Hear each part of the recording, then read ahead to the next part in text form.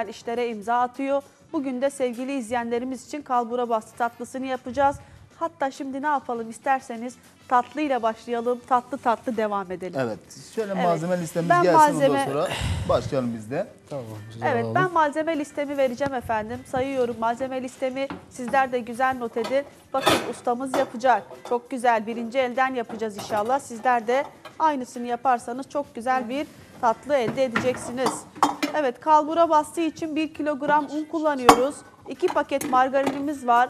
3 adet yumurta, 1 paket kabartma tozu, 200 gram pudra şekeri, 100 gram irmik, 1 kilogram toz şeker, 1 kilogram su, yarım taze limon kullanıyoruz.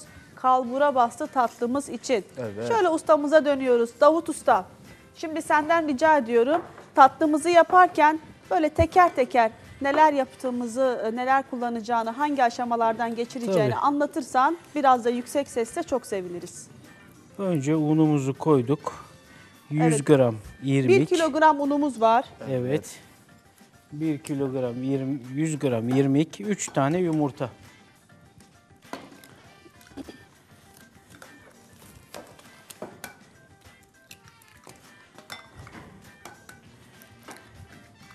Altını yakalım. Biz de Bir şöyle- paket kabartma tozu, Evet.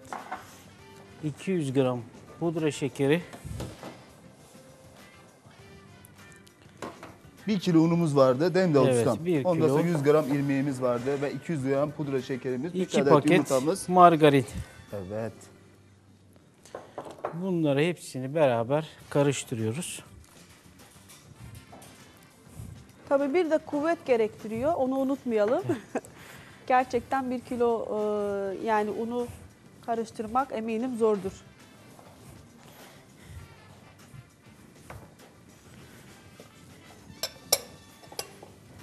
Biz de şöyle şerbetimizi koyalım. Şöyle yavaş yavaş şerbetimizi Tamam. hazırlayalım. 1 kilo toz şeker. Ayhan'ım şöyle bir gösterirsen.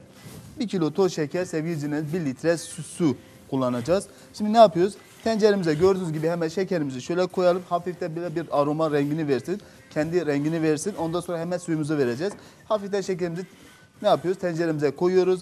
Biraz yakıyoruz sevgili izleyicilerimiz. Ondan sonra suyumuzu veriyoruz. Güzelce bir şekilde karıştıralım ve yarım limonumuzu içine ilave edelim. Şekerimiz güzelce bir şekilde özleşir. Şerbetimiz hazırlansın.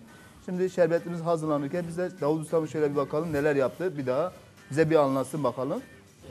Bütün malzemeyi koyduktan sonra güzelce yoğuruyoruz bunu. Yalnız lastiklendirmeden. Şerbet çekmez lastiklenirse hamur. Evet.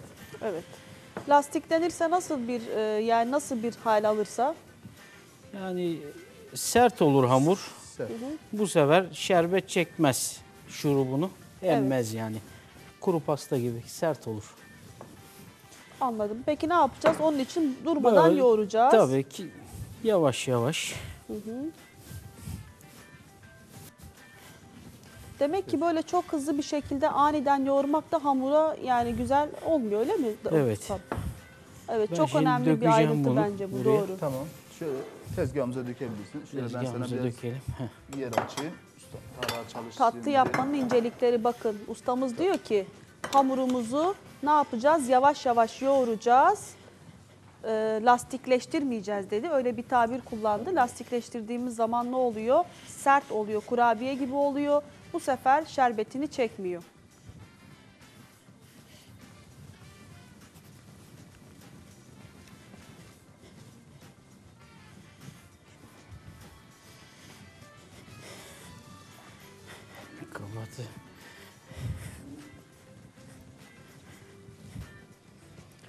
Evet şöyle hamurlarımız bakın. Yalnız kalbura pasta tatlısı öyle adı gibi kolay bir şey. kolay bir tatlı değil. Bayağı bir emek istiyor zannedersem. Şöyle görüyorsunuz kesinlikle ustamız sadece Dedim. yumurta ve margarinle yoğuruyor. Evet. Şöyle bir daha Davut Şöyle- Şöyle... anlatsın. Güç şeklinde böyle yaparak birleştireceğiz hamuru. İçine neler kullandı bir daha anlatalım. 1 Usta. kilo un, 100 gram irmik, 200 gram pudra şekeri, 1 paket kabartma tozu.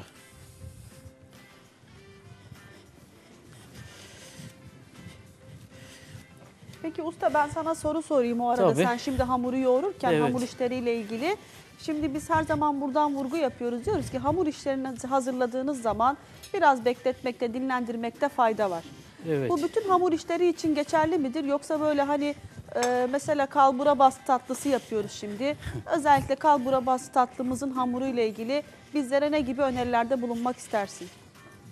Bu genelde hamur beklerse daha iyi olur. Evet. Bütün hamur tatlıları Tabii. öyle değil mi? İşlemesi daha rahat olur. Evet demek ki biz de doğrusunu zaten söylüyoruz sevgili izleyenlerimize. Hamurumuzu bekletmekte fayda var. Daha güzel bir sonuç elde Dinlendirdikçe, edermişiz. Evet. Şöyle şekerimizi yavaş yavaş şöyle bir renk Eridi mi? alacak. Şöyle biraz daha erisin, renk versin. Ondan sonra suyumuzu vereceğiz.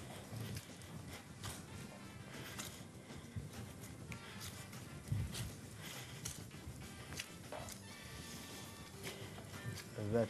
Evet. Aslında Ayşegül Hanım hamuru e, Ya- yoğurmayı çok seviyordu. Aslında ona bırakacağım. Ama ben kesinlikle bu kalbura bastığının hamurunu e, hiç yoğuramam bilmiyorum. Maşallah gerçekten böyle gayet kuvvet ve güç e, gerektiren bir hamur. Yorulduysan biraz ben Çünkü yorursam. düşünebiliyor musunuz? Bir kilo unu sadece iki paket margarinle Üç ve üç tane adet yumurta. yumurtayla yoğuruyoruz. Ve e, şu an aldığı hali gerçekten şaşkınlık verici. Neden şaşkınlık verici? Hani böyle içerisine su kullanmadık, süt kullanmadık bu kadar yumuşar mı diye. Ama demek ki yumuşuyormuş. Bu arada bir telefonumuz var. Alo, Alo, merhabalar. merhaba, iyi akşamlar. İyi akşamlar Hüseyin Bey İstanbul'dan arıyorsunuz. Evet, Hoş geldiniz yayınımıza. sağ olun, teşekkür ederim. İstanbul'un neresinden arıyorsunuz? Ataşehir, Ataşehir'den. evet. Harika. Evet tanıtın bakalım kendiniz neler yaparsınız? Ben emekliyim, her gün sizi izliyorum. O yemeklere bakıyorum, gerçekten güzel yemekler yapıyor. Abdullah Usta'ya. Yani yemeklerine hayranım Abdullah Usta'nın. Çok teşekkür ederim. ederiz. bir kitabını rica edeceğim, e, mümkünse eğer. Evet inşallah şöyle bir e, karar aldık biz. Kitabımız yayınlandıktan sonra artık kitap isteklerini yerine getireceğiz. Buraya Tamam. getireceğiz, sizlere göstereceğiz. Sonra bizlere ulaşacak olan izleyenlerimize kitabımızı hediye edeceğiz. Evet. Olur Tamam, mu Hüseyin Bey? tamam. Çok teşekkür ediyoruz. Bunun dışında başka bir isteğiniz varsa, bizden yemek isteğiniz varsa, sorunuz varsa alabiliriz. Yok şimdilik yok, daha sonra olabilir şimdilik yok. Tamam. Çok teşekkür, teşekkür ediyoruz ediyoruz. Hüseyin Evet, Bey. Hüseyin. Allah'a emanet Sağ olun, ediyoruz. teşekkür ederim. Sağ olun. Selam söyleyin. Selam Aleyküm söyleyin. selam. Allah razı olsun. Sağ olasın. Evet. Evet şöyle Şimdi ustamız yavaş yavaş başlıyor. Şöyle ustamız başlamadan ufak bir detayı sadece sevgili izleyicilerimize gösterelim. Ondan sonra ustamıza dönelim. Şimdi sevgili izleyicilerim şöyle şekerimizi hafiften yaktık. Şöyle kameramız yakın bir alabilirse şöyle gördüğünüz gibi hemen şekerimizi yaktıktan sonra ne yapıyoruz? Şöyle suyumuzu veriyoruz. 1 litre kadar suyumuzu vereceğiz. Hemen şekerimiz zaten renk aldı. Kesinlikle topaklaştığı zaman korkmayın. O kaynadıkça ne yapacak? Kendini bırakacaktır. Şöyle. Evet. Hemen 1 litre kadar gördüğünüz gibi suyumuzu tenceremize ilave ettik ve güzelce bir şekilde şimdi o kaynadıkça sevgilicilerimiz ne yapacak? Şöyle yarım da limonumuzu içine atalım. O yavaş yavaş hemen kaynasın. Şöyle suyumuzu da ilave ettikten sonra şimdi şerbetimiz yavaş yavaş şöyle bir hazırlansın. Evet, şöyle ben bir geçeyim bakın. Tatlımız çok güzel bir şekilde hazırlanıyor. Kalbura bastı tatlısı yapıyoruz. Ustam maşallah ellerine sağlık. Hemen böyle e, seri bir şekilde hazırlamaya başladın. Evet. Şimdi hamurumuzu biz bekletmiyoruz. Evet. Her zaman zaten Tabii. vurgu yapıyoruz. Şu an canlı yayında yaptığımız için fazla vaktimiz yok. Ama ne yapıyor şimdi ustamız hamuru güzel bir şekilde yoğurdu ve şu an bakın rendenin özellikle bu yıldız dişlisiyle diyoruz değil mi? Evet. Bu tarafıyla şöyle bir yakından göster usta bakalım neler yapıyorsun. Şöyle. Evet ufak bezelere ayırıyor ustamız. Ufak bezelere ayırdıktan sonra görüyorsunuz rendemizin yıldız dişlisi dediğimiz tarafıyla gözüyle de. Bu normal kalın dişli kalburdan da olur. Evet. Evde olmadığı için rendeyle de olur. Normalde evet bazıları da işte Tabii. o pilav sürdüğümüz pilav süzgeçleri var ya Ayşegül Hanım. Onunla Evet. da yapardık. Ama e, en güzeli de eğer rende varsa rendeyle de yapabiliriz. Tabii böyle. şimdi artık mutfaklarda işimiz o kadar kolay ki alternatifler o kadar çoğaldı ki Yani hemen işte e, süzgeç varsa süzgeç, kalbur varsa kalbur, yoksa rende, rende yoksa başka e, yine mutfak araç gereçleriyle güzel şekiller verebiliyoruz. Bu arada dikkatimi çekti tepsimizi yağlamadık. Yapışmaz. Yapışmaz. Yapışmaz. Tamam. Evet demek ki şimdi ustalarımız işte hani diyoruz ya herkesin e, farklı bir alanı var diye. Aynen hep böyle anlatıyorum ben genelde Osmanlı mutfağından örnek veriyorum. E şimdi hakikaten atalarımız da o kadar çok önem vermişler ki her şeyin profesyonelce yapılması için sınıflara ayrılmışlar. Özellikle işte bu helvahanelerde dedik ya geçenlerde bahsettik. Tatlıcılar varmış. Ondan sonra onların başında da Davut ustamız gibi, şeker ustamız gibi helvacı başı varmış. Orada böyle sadece tatlılar hazırlanır, hazırlanırmış Davut Usta. Gerçi sizin de bilginiz vardır muhakkak. Eskiden zaten e, bu kalbura basmayı kül suyuyla yoğuruyorlarmış daha gevrek olsun diye. Kül suyuyla. Külün suyuyla. Yani mangalda yapılan külü Evet. dinlendirip onun üstündeki suyu alıp öyle hamuru yoğuruyorlarmış. Daha gevrek olsun Daha diye. gevrek olsun diye. E tabii şimdi eskiler gerçekten biliyorlar. Bazen işte böyle hani e, bize Aa işte kül suyu nasıl olur diye düşünebiliriz ama emin olun onlar her yönden hem sağlık açısından hem de pratiklik açısından her Şimdi- şeyi araştırıyorlardı. Genelde kabağı kirece yatırırlar. Evet. Bilmeyen insan için diyor ki olur mu ya kireçte kabak mı olur? Yani, Yani ama yatırılıyor. yatırılıyor. Ve biz yiyoruz yani kireçli kabağı yiyoruz. Evet çok güzel. Şimdi Davut ustamız çok güzel şekil veriyor tatlımıza. Bakın Abdullah Şerbet. ustamız da şerbetimizi hazırladı. Ama güzel bir renk oldu değil mi Çok Ayşegül güzel bir Şöyle. renk aldı. Gerçekten ellerinize sağlık. Ee, bir de bir şey daha soralım. Şimdi bu bazı tatlılarımız sıcak olacak. Tatlının Bunun- kendisi sıcak veya şerbetinin soğuk İkisi de olması lazım. sıcak İkisi olacak. de sıcak olacak. Tamam. Kalbura Şerbet. bastı da ikisi de sıcak olacak. Harika. Şimdi genelde turizm turizm bölgesinde şey olduğu için Turizm bölgesinde tabii e, yoğunluk çok oluyor öyle değil mi? yoğunluk çok bir de Evet şöyle. her şey dahil olduğu için Hı hı. yani genelde şu hamurdan mantık olarak 40 çeşit çıkarabilirsiniz. Evet. Şu hamurdan sadece. Çok ne güzel. olacak? Maliyetler düşük. Onun için aynı hamurdan 40 çeşit tatlı çıkar. 40 çeşit tatlı çıkarıyorsunuz. E, bu da artık sizin uzmanlık alanınız. Çok güzel. Şimdi Davut Usta senden rica ediyoruz. Bizim e, komple mutfak izleyenlerimiz gerçekten böyle hem çok dikkatli izleyiciler hem de bizlere ulaştıkları zaman sık sık lütfen yaptığınız her şeyi tekrar tekrar anlatın. Aklımızda, zihnimizde iyice yer etsin. Şimdi Notlarımızı alalım.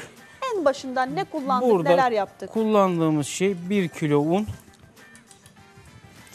1 kilo un kullandık. Ee, 100 gram irmik. 2 paket margarin. ee, 200 gram pudra şekeri, 3 tane yumurta. Evet. 1 kilo şekerimiz var. Bir paket kabartma tozumuz. 1 paket kabartma tozu. Şekerimiz de birebir Evet, şerbetimizde. birebir. Evet şöyle bir tepsimizi hazırladık sevgilicilerimiz. Şimdi ben şöyle Davut Sama biliyorsun biz Şimdi- burada karabalık bir aile olduğumuz için biraz fazla yapalım. Şimdi da sevgili yönetmenimiz için olsun bu Olsun. tepsimizde. Yönetmenimize hep de böyle e, usta sen e, yani torpil geçiyorsun. Hep böyle birer Ya tepsi Ayşegül Hanım, tencere tencere hazırlıyorsun. Sabahları çok koşu yaptığı için E yani sabahları Kardeşimiz, evet. olabilir. Bak Çok burada koşu yapıyor kameraman ve yoruluyor. kardeşlerimiz var. Bak ama onlar onun Omzunda kadar taşıyor çocukcağız evet, onlar saatlerce. onun kadar koşmuyorlar. öyle Yani mi? Tabii çok fazla koştuğu için biz de onu düşünerekten şöyle biraz fazla yapıyoruz. Evet. Şimdi bak Ayhan bu da e, sizin için hazırlanıyor. ben de öyle söylüyorum. Bakar Onlar mısın ne için kadar güzel şekil veriyor ustamız. Tepsiyi Değiştiriyorum farklı onlar yaptık. için. Evet. Nasıl yapıyorsunuz da şöyle yakından bir görelim. Böyle parmağımızla çeviriyoruz.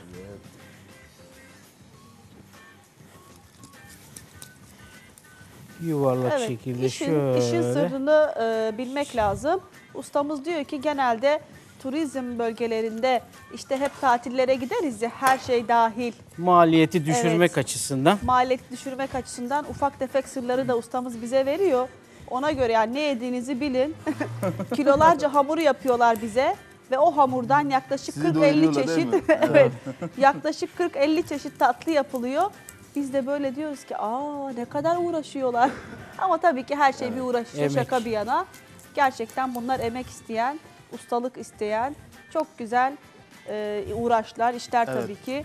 Özellikle şimdi hep diyoruz ya yemek sanatının 8. sanat dalı olarak ilan edilmesinden sonra da artık e, özellikle bu aşçılık konusunda insanlarımız çok daha böyle hem bilinçlendiler hem de meslek olarak tercih ettikleri güzel bir alan oldu. Kesinlikle öyle. Beylerimiz zaten daha da bir meraklı artık. Dün zaten bunun sohbetini yaptık bol bol.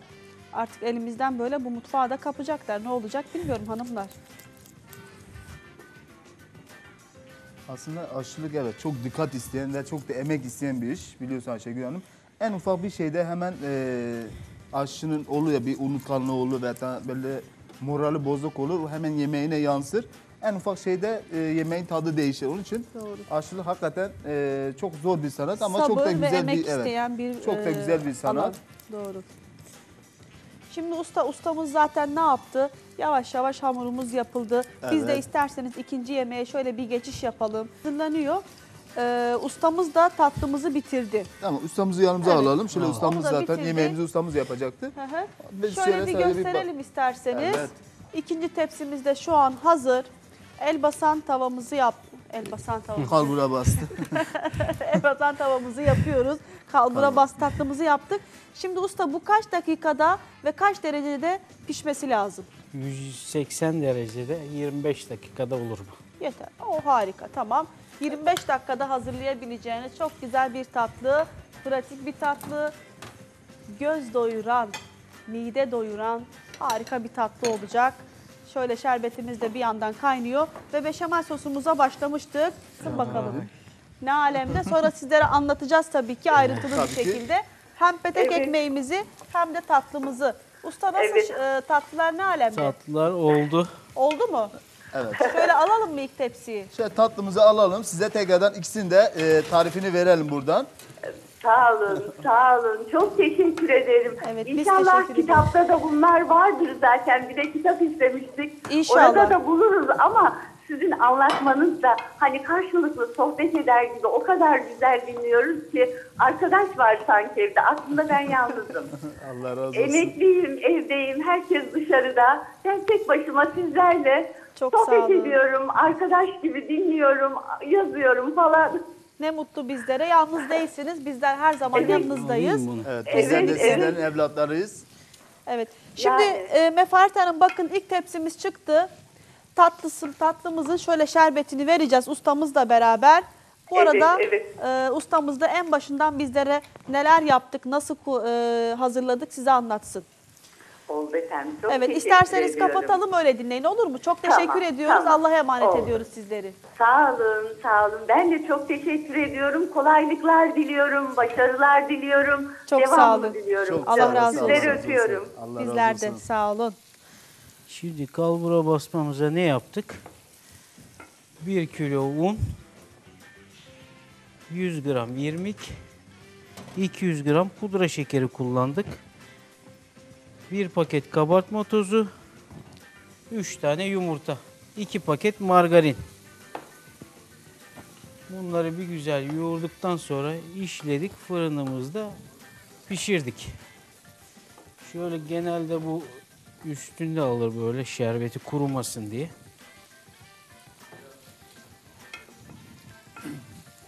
Ve bekleteceğiz. Beğendiniz mi? Çok beğendim. Ben e, farkındaysanız gözümü ayırmadan böyle izliyorum. İkinci tepsinin e, heyecanla çıkmasını bekliyorum tabii ki. Harika oldu. Mefaret Hanım inşallah zaten yine anlatacağız sizlere. Evet, Son anladım. bölümde tekrar edeceğiz bir daha. O E, zaman ben teker şöyle teker. ablamız bizi dinlerken e, yemeğimize geçiş yapmadan dünkü petek ekmeğimize ben Evet. malzemesini söyleyeyim ablam için. Ondan sonra biz tekrar ciğer için neler yaptığımızı bir daha sevgili izleyicilerimize anlatacağız.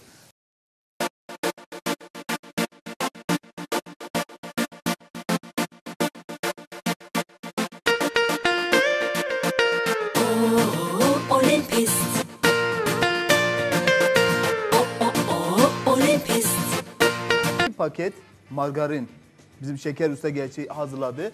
200 gram pudra şekeri ve 3 adet yumurtamız. Ne yaptık? Biz geniş bir kabımızın içine unumuzu aldık. 100 gram kadar irmik koyduk üzerine. Ondan sonra 2 paket margarinimizi normal Ortamda e, margarinimizi biraz yumuşatıyoruz. Hemen margarinimizi içine ilave ediyorsunuz. Ve 200 gram pudra şekerinizi, 3 adet yumurtanızı ve bir pakette kabartma tozunuzu içine ilave ediyorsunuz. Hamurumuzu güzelce bir şekilde yoğuruyoruz.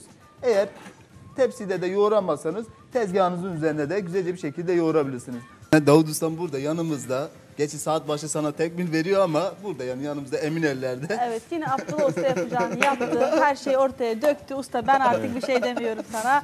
Çok Evet, teşekkür şöyle. ediyorum. Tekrar hepinize ayrı ayrı ellerinize sağlık Biz diyorum. Evet sevgili izleyenlerimiz güzel bir programın sonuna geldik. Güzel lezzetler hazırladık. Her zaman dediğimiz gibi bu güzel lezzetleri ailenizle beraber huzurlu sofralarda tüketip mutluluk içinde sağlık dolu bir hayat diliyoruz. Yarın aynı saatte 16.30'da yarın, yarından sonra ve her gün ekranlarınızda olmaya devam edeceğiz inşallah.